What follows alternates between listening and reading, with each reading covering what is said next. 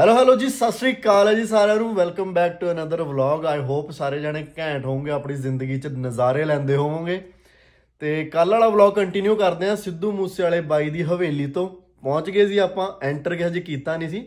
ਤੁਸੀਂ এনवायरमेंट ਦੇਖੋ ਪਹਿਲਾਂ ਹਵੇਲੀ ਦਾ ਕਿੱਦਾਂ ਦਾ ਆ, ਕੀ ਹਿਸਾਬ ਕਿਤਾਬ ਆ, ਹਨਾ, ਧਾਮਾ ਜਾਮਾ ਸਾਰਾ। ਤੇ ਬਾਕੀ ਦੀ ਗੱਲ ਆਪਾਂ ਫੇਰ ਕਰਾਂਗੇ। ਮੈਨੂੰ ਬਾਲਾ ਨੂੰ ਦੇਖ ਕੇ ਮੈਨੂੰ ਜੱਜ ਨਾ ਕਰਿਓ। ਕਿਉਂਕਿ ਮੈਨੂੰ ਥੋੜਾ ਟਾਈਮ ਹੀ ਹੋਇਆ ਹਜੇ ਉੱਠੇ ਨੂੰ ਤੇ ਮੈਂ ਵਲੌਗ ਅਪਲੋਡ ਕਰਕੇ ਮੈਂ ਪਹਿਲਾਂ ਜਿਮ ਜਾਣਾ, ਫਿਰ ਆਪਾਂ ਸਾਰਾ ਸਿਸਟਮ ਕਰਾਂਗੇ ਲੋਡ ਪਹਿਲਾਂ ਤੁਸੀਂ ਸਿਸਟਮ ਦੇਖੋ।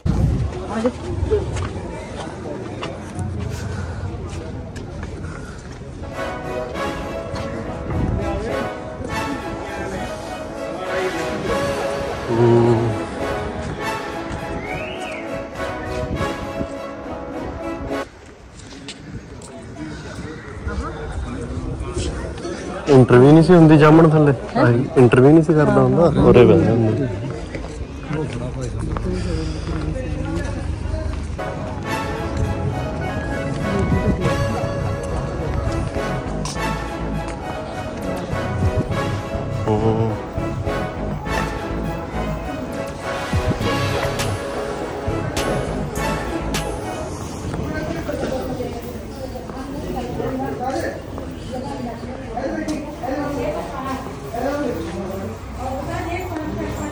ਤਾਂ ਬਾਈ ਉਹ ਜਿਹੜਾ ਲੈਫਟ ਕਾਰਨਰ ਤੇ ਬਾਈ ਦੇ ਦੋ ਕੁੱਤੇ ਬੈਠੇ ਆ, ਹਨਾ?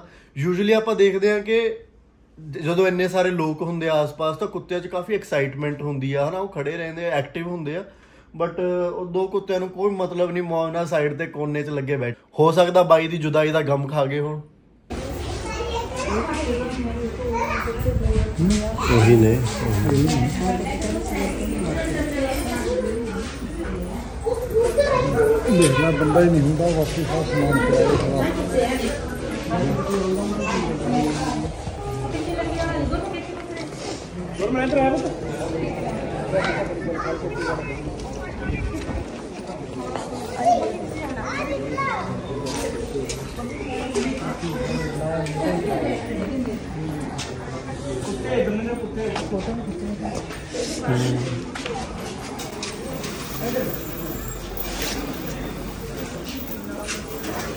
ਪਿਆ ਹੈ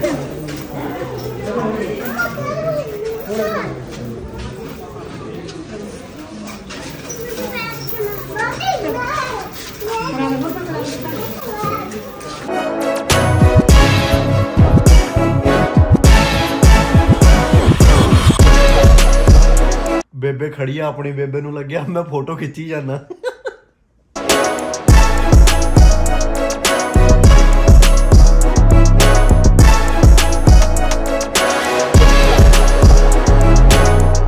ਤਾਂ ਬਾਈ ਜਿਹੜੇ ਲੋਕ ਬਾਈ ਦੇ ਬਹੁਤ ਚੰਗੇ ਫੈਨ ਸੀਗੇ ਜਾਂ ਬਾਈ ਨੂੰ ਬਹੁਤ ਚੰਗੀ ਤਰ੍ਹਾਂ ਜਾਣਦੇ ਸੀ, ਹਨਾ, ਉਹਨਾਂ ਨੂੰ ਪਤਾ ਹੋਣਾ ਕਿ ਬਾਈ ਦੇ ਜਿੰਨੇ ਵੀ ਸੰਦ ਸੀਗੇ, ਟਰੈਕਟਰ ਸੀ, ਟਰਾਲੀਆਂ ਸੀ ਜਾਂ ਫਿਰ ਗੱਡੀਆਂ ਸੀਗੀਆਂ, ਸਾਰੇ ਕਸਟਮਾਈਜ਼ਡ ਸੀਗੇ ਤੇ ਇੰਨਾ ਕਿ ਡਿਟੇਲਡ ਕੰਮ ਕੀਤਾ ਹੋਇਆ ਸੀ ਕਿ ਜਿੱਦਾਂ ਲਾਈਟਾਂ 'ਚ ਵੀ ਮੂਸਾ ਜੱਟ ਲਿਖਿਆ ਹੋਇਆ ਸੀ ਸਾਈਡ ਤੇ ਛੋਟਾ ਛੋਟਾ ਹਰ ਜਗ੍ਹਾ ਤੇ ਸਿੱਧੂ ਮੂਸੇ ਵਾਲਾ ਜਾਂ ਫਿਰ ਝੋਟਾ ਲਿਖਿਆ ਹੋਇਆ ਸੀ, ਹਨਾ, ਤਾਂ ਬੜਾ ਘੈਂਟ ਸੀ ਸਿਸਟਮ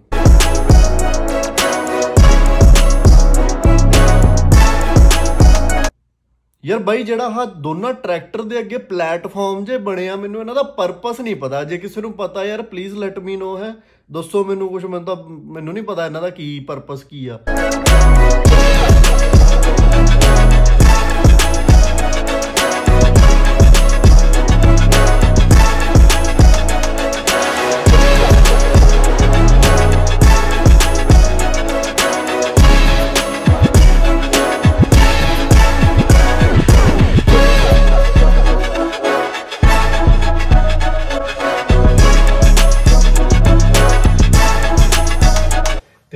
ਬਾਈ, ਆਪਣੇ ਯਮਦੂਤ ਦਾ ਝੋਟਾ PB 65008 ਬੁਲਟ ਪ੍ਰੂਫ ਫੋਰਚੂਨਰ ਜਿਹੜੀ ਮੇਰੀ ਸਾਰਿਆਂ ਤੋਂ ਫੇਵਰੇਟ ਆ, ਸਾਰੀ ਕਲੈਕਸ਼ਨ ਚੋਂ ਸਾਰਿਆਂ ਤੋਂ ਫੇਵਰੇਟ ਗੱਡੀ ਆ ਗਿਆ ਆ ਗਿਆ 2 ਮਿੰਟ।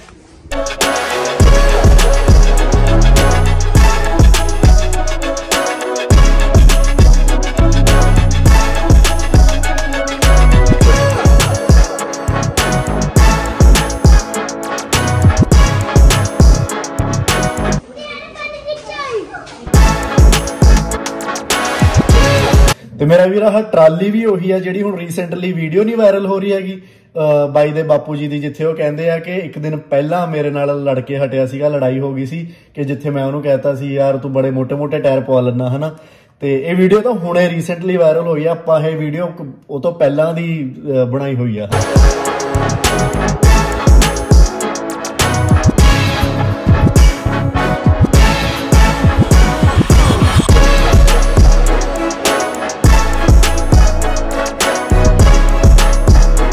ਤੇ ਬਾਈ ਆ ਜਿਹੜੀ ਬਰਾਊਨ ਵਾਲੀ ਜੀਪ ਆ, ਇਹ ਬਾਈ ਦੀ ਡੈਥ ਤੋਂ ਮੈਨੂੰ ਲੱਗਦਾ ਇੱਕ ਦੋ ਦਿਨ ਬਾਅਦ ਰੈਡੀ ਹੋ ਕੇ ਆਈ ਸੀ ਤੇ ਬਾਈ ਨੇ ਹਜੇ ਤੱਕ ਇਹ ਜੀਪ ਦੇਖੀ ਵੀ ਨਹੀਂ ਸੀਗੀ। ਬਟ ਬੜੀ ਘੈਂਟ ਸੀ ਇਹ ਵੀ ਤੇ ਕਿਸੇ ਨੇ ਹਜੇ ਤੱਕ ਅਨਟੱਚਡ ਹੈ ਜੀਪ ਸਵਾਏ ਬਾਈ ਦੇ ਫਾਦਰ ਤੋਂ ਇਲਾਵਾ ਕਿਸੇ ਨੇ ਟੱਚ ਨਹੀਂ ਕੀਤਾ।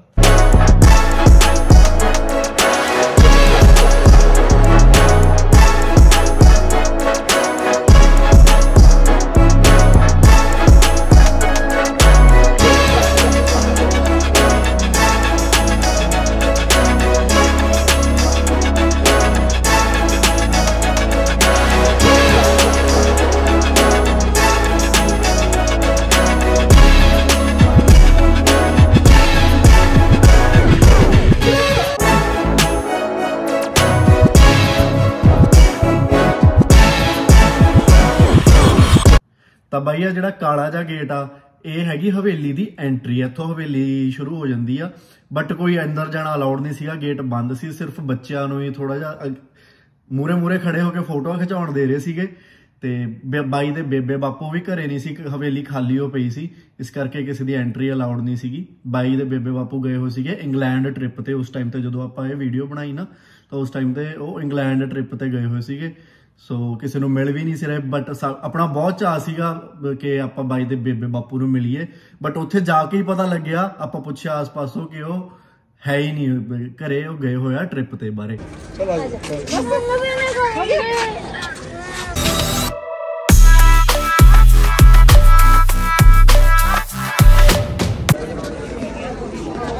ਹਵੇਲੀ ਦਾ ਲਿਆ ਦੇ ਫਿਰ ਇੱਕ ਫੋਟੋ ਸੀ। ਖੜ ਜੋ ਹਾਂ ਮੰਮਾ ਉਰੇ ਖਚਾ ਲਓ ਖੜ ਕੇ ਸਾਰੇ ਹੀ।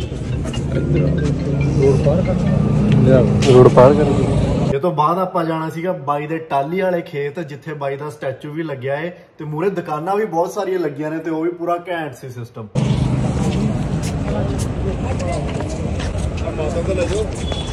ਗੱਡੀ ਲਿਆਈਏ ਜੀ। ਛੱਡ ਕੇ ਨਹੀਂ ਚੱਲੇ।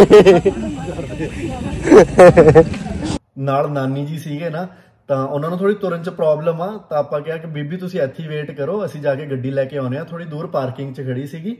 ਤੇ ਪੁਲਿਸ ਵਾਲੇ ਨੂੰ ਲੱਗਿਆ ਅਸੀਂ ਬੀਬੀ ਉੱਥੇ ਹੀ ਛੱਡ ਚੱਲੇ ਤੇ ਪੁਲਿਸ ਵਾਲਾ ਕਹਿੰਦਾ ਮਾਤਾ ਜੀ ਨੂੰ ਤਾਂ ਨਾਲ ਲੈ ਜਾਓ।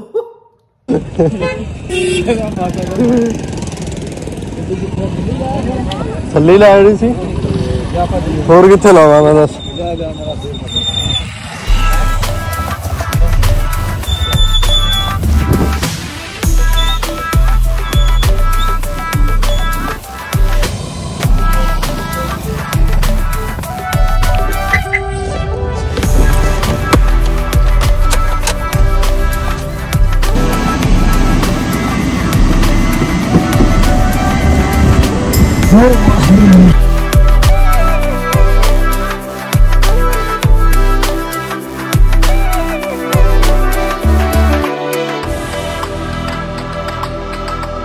ਉੱਥੇ ਨਹੀਂ ਬੀਬੀ ਗੱਡੀ ਜਾਣੀ।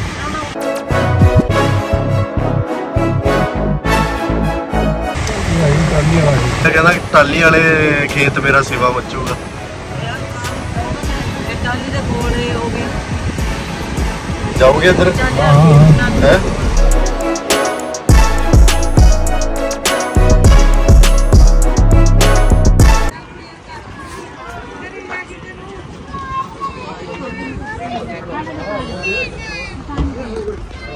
ਮੰਮਾ ਚੁੰਨੀ ਸੰਭਰਦੀ ਆ ਤੁਹਾਡੀ।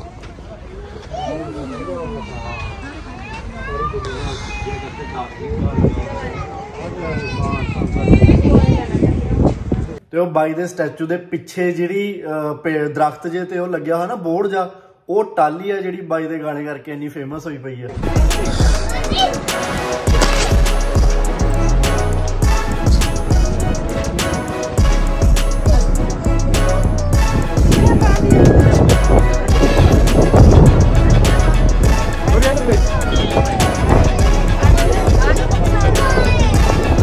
ਆ ਜਿਹੜੇ ਪੀਲੀ ਜੀ ਪਰਨੀ ਵਾਲੇ ਅੰਕਲ ਖੜੇ ਆ, ਹਨਾ, ਇਹ ਬਾਈ ਦੇ ਨਾਲ ਖੇਤਾਂ 'ਚ ਕੰਮ ਵੀ ਕਰਾਉਂਦੇ ਸੀਗੇ ਤੇ ਇਹਨਾਂ ਨੇ ਦੱਸਿਆ ਕਿ ਇਹ ਜਿਹੜੀ ਟਾਲੀ ਦੇ ਥੱਲੇ ਬਹਿ ਕੇ ਰੋਟੀ ਖਾ ਲੈਂਦੇ ਹੁੰਦੇ ਸੀ, ਇੱਥੇ ਹੀ ਘੁੰਮਦੇ ਫਿਰਦੇ ਰਹਿੰਦੇ ਸੀ ਤੇ ਤੁਰਦੇ ਤੁਰਦੇ ਹੀ ਉੱਥੇ ਰੋਡ ਕ੍ਰਾਸ ਕਰਕੇ ਗੋਲ ਗੱਪੇ ਖਾਣ ਆ ਜਾਂਦੇ ਸੀਗੇ ਇਕੱਠੇ ਹੋ ਕੇ ਤੇ ਬੜੇ ਘੈਂਟ ਬੰਦੇ ਸੀ, ਬਹੁਤ ਨੇਚਰ ਦੇ ਵਧੀਆ ਸੀਗੇ ਤੇ ਗੱਲ ਕਰਦੇ ਕਰਦੇ ਰੋਣ ਵੀ ਲੱਗ ਗਏ ਸੀ ਤੇ ਬੜਾ ਸਵਾਦ ਆਇਆ ਗੱਲ ਕਰਕੇ, ਬੜੇ ਘੈਂਟ ਬੰਦੇ ਸੀ ਇਹ ਵੀ।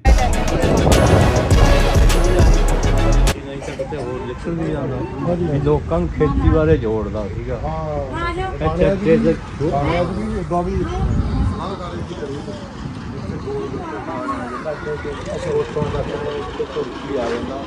ਹੈਗਾ ਜੀ ਕਿੰਨੀ ਕਿੰਨੀ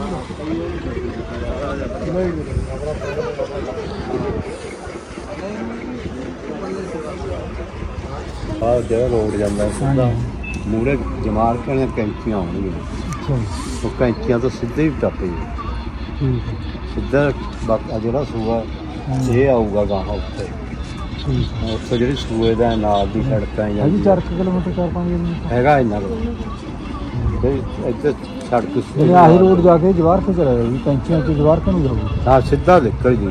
ਨਾ ਤਾਂ ਇੱਥੇ ਇੱਧਰ ਜਾਈ ਨਾ ਇੱਧਰ ਜਾਈ। ਉਹ ਕੈਂਚੀਆਂ ਤੋਂ ਸਿੱਧਾ ਵਗ ਹਾਂ ਉੱਥੋਂ ਗਾਹਾਂ ਆਹ ਸੂਆ ਆਊਗਾ।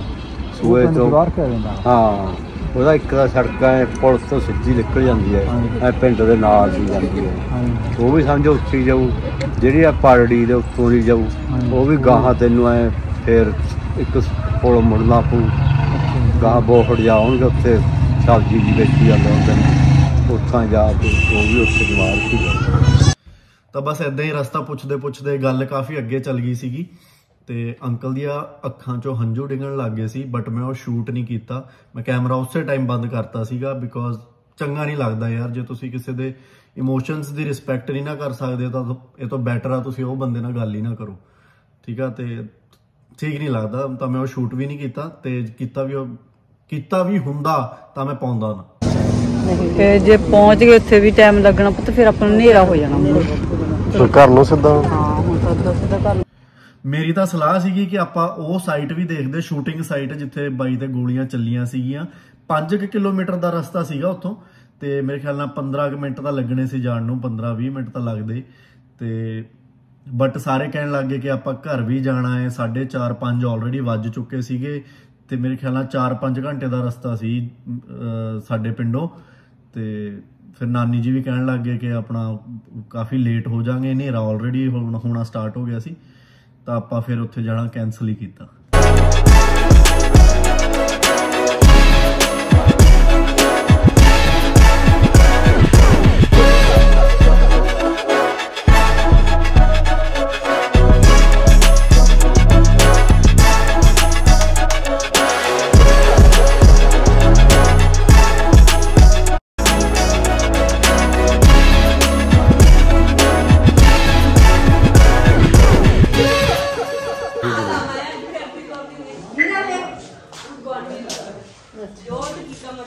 ਅੱਛਾ, ਮੈਂ ਤਾਂ ਮਾਮੀ ਨੂੰ ਮਿਲਣ ਗਿਆ ਹਾਂ, ਮਾਮੀ।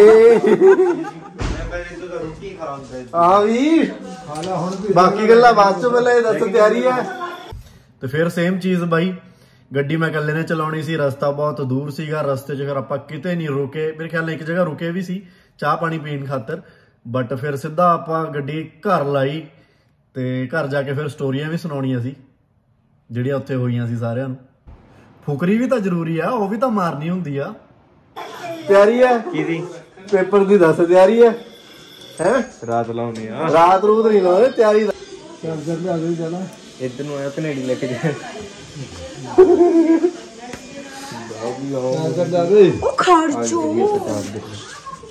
ਕੀ ਕੀ ਕੀਤਾ?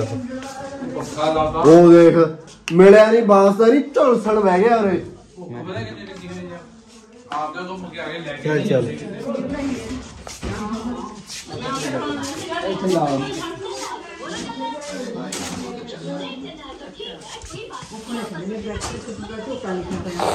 ਕਿੰਨੇ ਟਰੈਕਟਰ ਨੇ? ਚਾਰ? ਪੰਜ। ਜਿਹੜੀ ਫੋਰਚੂਨਰ ਗੱਡੀ ਸੀ ਉਹਦਾ ਸ਼ੀਸ਼ਾ ਇੱਧਰ ਸਕਾਰਪੀਓ ਖੜੀ ਇੱਧਰ ਫੋਰਚੂਨਰ।